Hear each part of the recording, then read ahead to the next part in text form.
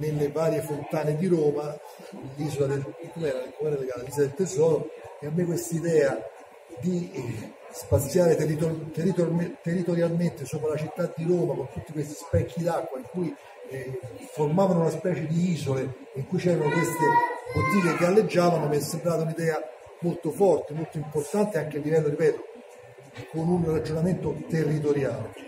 Però io non disprezzerei il quadro cosiddetto da cavalletto o da parete, perché poi è quello che dà la dimensione del raggiungimento di un certo tipo di percorso. Quindi ti chiedo, la pittura ti stimola poco oppure il fatto di non avere riscontro non, non, non ti attira o fa sì che tu ne produci poca? Ma io sono un po' atipico come artista perché eh, di solito eh, calcano una, una, una, strada, un percorso e ehm, eh, cambiano poco da, da, da, dalla tecnica, dal pensiero, appunto dalle caratteristiche dell'artista io, io, invece sono un pochettino, come ti dicevo, atipico perché invece cambio eh, tecnica, cambio, posso cambiare appunto pure il ragionamento, posso cambiare pure eh, il momento eh, empatico con l'arte e quindi creare determinate cose diverse, l'una dall'altra. Sono un po' sfuggente su questa cosa. Un altro elemento che invece a me pare importante di mettere in evidenza in questa piccola chiacchierata che stiamo facendo che ci conduce così su una tua introspezione è il rapporto che io vedo in tralice tra la tua figura e quella di Piero Manzoni. Piero Manzoni che, voglio dire, tremano solo i polsi a, a parlarne, visto l'importanza che ha avuto nell'arte italiana, e poi intendo dire nell'arte figurativa, per quello che lui rappresentava, per quello che lui ha, ha rappresentato nella internazionalizzazione del, dell'arte italiana. Piero Manzoni, so, tu sei un, un suo ammiratore, hai riprodotto la famosa eh, sequenza della sua merda d'artista in, in altra forma con un omaggio, così come altri elementi li hai in qualche maniera portati avanti, ma soprattutto portando avanti quell'idea che l'artista è l'oggetto dell'arte in quel momento. Sì, ehm, eh, per il cinquantesimo anniversario della morte appunto dei Manzoni eh, ho fatto questa, eh, ho riprodotto una bottiglia eh, ricalcando la, la la cosa che aveva fatto Manzoni, l'opera che aveva fatto Manzoni, pure lui con, per provocare, eccetera, eccetera, che tutti sanno, tutti conoscono, la merda d'artista, io feci la scoreggia d'artista eh, a 50 anni di distanza appunto da, da quell'opera. E, però come vedi, eh, 2019 siamo ancora qui a discutere sul eh, esporre o meno un, un, quadro che addirittura non essendo esplicito eh, dà fastidio, dà fastidio e, e, siamo qui per questo.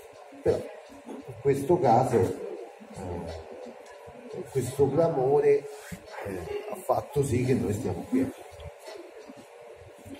Allora, io a concludere questa così piacevole chiacchierata, torta, tornando a bomba, dicono i bravi, sull'origine di questa nostra occasione di, di incontro, questo quadro.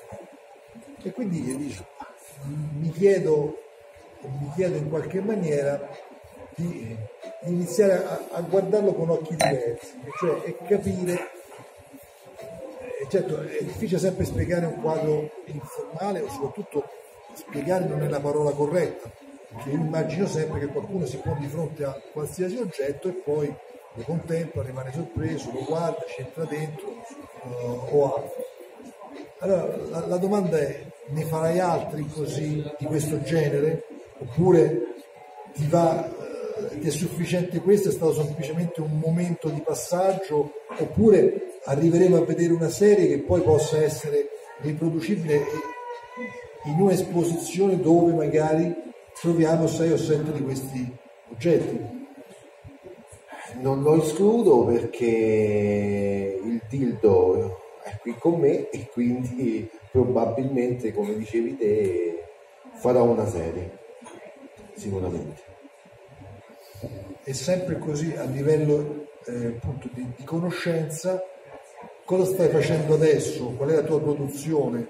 E, quello che hai in cantiere è quello che ti viene in mente? Oppure, per chiudere, cosa ti piacerebbe fare a Viterbo se avessi la possibilità di farlo? Adesso sto lavorando sulla carta da patati, e un collage che, che voglio fare questa volta eh, appunto dopo, dopo, questo quadro.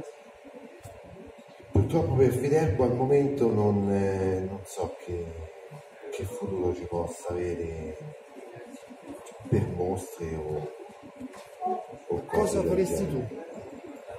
ma io ci ho fatto, ho fatto delle, delle performance eh, non autorizzate ovviamente, eh, che tu, tu conosci e, e, quindi quest'animo provocatorio non lo perderò sicuramente.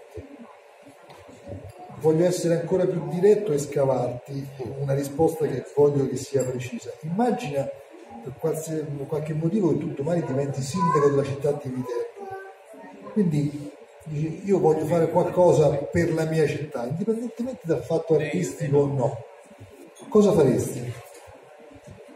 Ah, io chiuderei il traffico ai pedoni eh, come prima cosa perché eh, sicuramente con eh, col traffico automobilistico hanno, hanno poco a che vedere e, e quindi la prima cosa che farei chiuderei appunto il traffico pedonale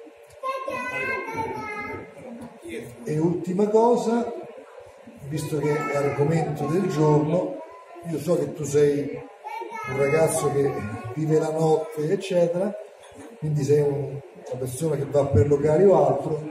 Cosa pensi di questo piccola diatriba che è sempre in un bicchiere d'acqua che sta accadendo adesso a Viterbo sul la, nuovo regolamento del, del commercio, la movida notturna, e, e tutto ciò che ne consegue. Siccome ripeto, tu so che sei un frequentatore di locali o altro, ti chiederei di anche qui di lanciare un messaggio oppure esprimere quello che tu ritieni più opportuno. Più che in un bicchiere d'acqua in un bicchiere di alcolico o superalcolico, che comunque non comporta un problema.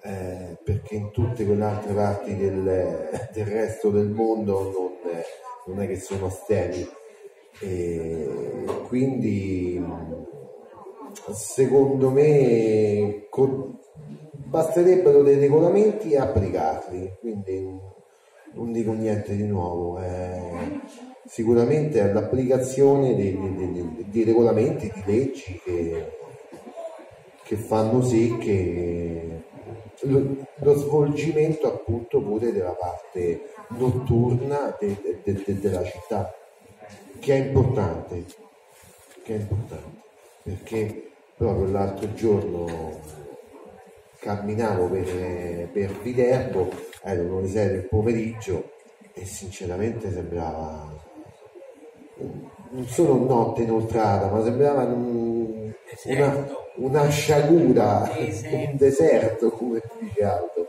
Eh, non è possibile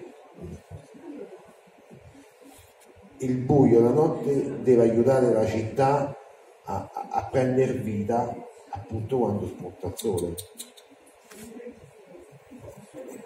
Allora io chiuderei e poi lascerei l'ultima battuta ad Arialdo con un auspicio. Un auspicio che secondo me deve essere che la prossima volta che ci dobbiamo incontrare sarebbe bello farlo in un posto dove è deputato per questo tipo di eventi, non che questo non sia né sia qualificato né piacevole, però io immagino, continuo a immaginare a uno spazio per la, l'arte moderna, con, cioè, con una parola la più ampia possibile in questo senso, dove ci sia una consuetudine mensile, quindicennale, dove appunto poter andare e vedere di volta in volta opere di qualunque artista se con qualsiasi tranquillità e dove poi ci sia un luogo anche di discussione e di conservazione, perché altro elemento fondamentale secondo me è la memoria. Andrebbe creato un archivio di tutte le persone che hanno ruotato intorno a questo mondo non solo a Viterbo ma anche, ma anche fuori. Gioconda. Per cui perderne memoria mh, è un vero peccato. Per cui ecco, ti lascio a questo punto all'ultima battuta e ti ringrazio di avermi dato la possibilità di parlare eh, di questi argomenti che tu sai mi trovano sempre eh, vicino e piacevolmente coinvolto. No, sono io che ringrazio a te Gianni perché sei sempre presente attivo quando, quando si parla d'arte. Eh, mi ricordo l'ultima mostra, eh, appunto come diceva Aldo, all'ex Mattatoio dove tu eri partecipe e organizzatore dell'evento che è stata molto bella sia per noi artisti che per, eh, per, le, per le, persone che, che, hanno, che, hanno, visto la mostra. Eh, chi lo sa, ci vedremo, ci vedremo qui a Viterbo probabilmente con un posto idoneo come dicevi eh, l'augurio è questo. Grazie grazie. Grazie a te Arialdo buona serata